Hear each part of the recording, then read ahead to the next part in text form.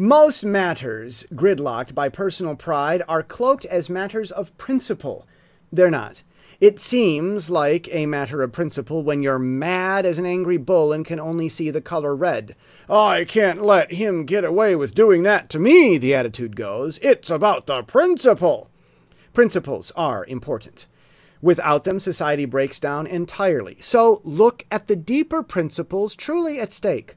Much ado about little, mountains grown from ant hills, grown adults squabbling over matters so silly children can't notice the difference.